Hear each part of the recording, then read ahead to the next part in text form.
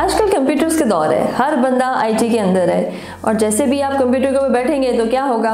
एक तो carpal tunnel होना शुरू हो जाता है रिस्ट पेनफुल होनी शुरू हो जाती है। You know it is a very common issue या हर वक्त हम लगे रहते हैं फ़ोन पे या के कंप्यूटर्स के ऊपर। So wrist it is an over use issue actually wrist के ऊपर पेनफुल होना। It is called carpal tunnel syndrome और बहुत कॉमन है लोगों के अंदर जो कि कंप्यूटर के ऊपर काम करते हैं। So what are you supposed to do with it? You're not supposed to live with pain. Pain के साथ रहना is not fun.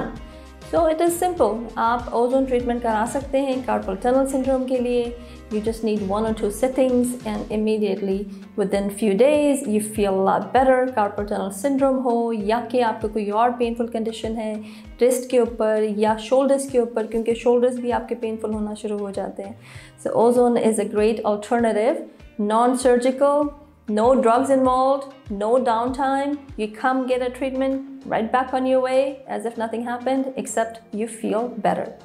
So come try it out.